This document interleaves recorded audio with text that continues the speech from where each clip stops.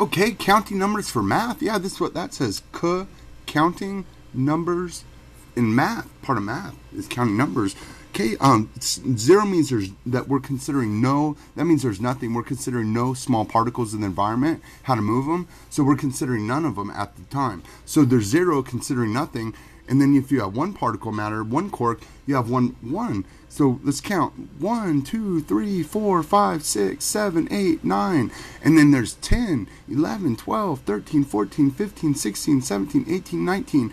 And then we have 20s all the way up, see 20, 21, 22, all the way up to 28, 29, and then 30s.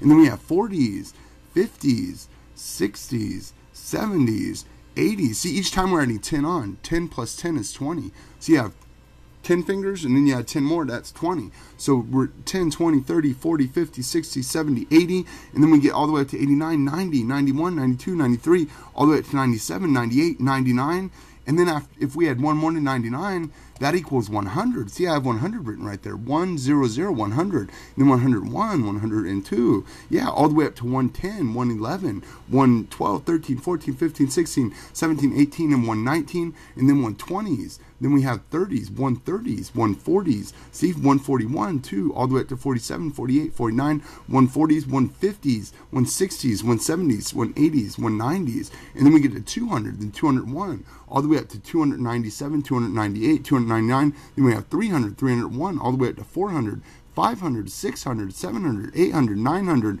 then all the way up to 999. Then we add another zero and we have a thousand. Yeah, a thousand, that's a lot.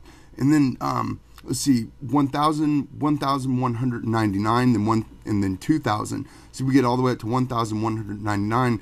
Then it becomes, well, oh, 1,999 it would be and then it becomes 2000 then we count all the way 2001 all the way up to 2999 then it becomes 3000 then we have 4000 5000 6000 7000 8000 9000 9,999. Then we had one more for 10,000. See, we added another zero to it. Just like we are adding zeros back here. See, we're adding, well, we didn't, we had, we started at zeros with 100. See, 100 and then with thousands, it's one more zero. Then 100, see 100 is two zeros, thousands, three zeros. Yeah. So we let's see, we count all the way up 9,999, then it's 10,000. Then we have 10,001 all the way up to 20,000, 30,000, all the way up to um, 30,000 or 39,999. Then it becomes 40,000, 50,000, 60s, 70s, 80s, thousands, 90,000.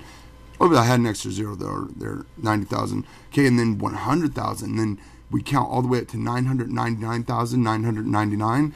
Then we go to a million. Yeah, a million. And then we have 10 million, 100 million, and then 1 billion, and then 10 billion, 100 billion, 999 billion, 999 million, 999,999. Then we add one more, and that's um, a trillion, 1 trillion, 1 trillion and 1, all the way up to 1 all the way up to 999 trillion, 999 billion, 999 million, 999,999. And then we add another number. There's more numbers after that. There's something after trillions. Yeah, that's counting to, well, we counted high, and then you see that there's more numbers. But yeah, that's counting numbers for math. Yeah, good job.